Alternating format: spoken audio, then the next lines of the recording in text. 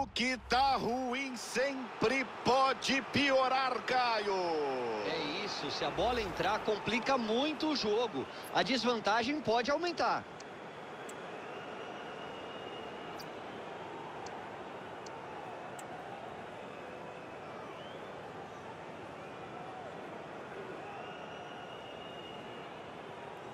Neymar vai bater.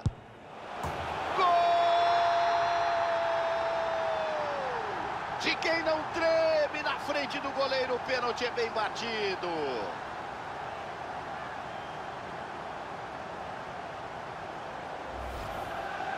Vamos dar uma olhada de novo, Vilani.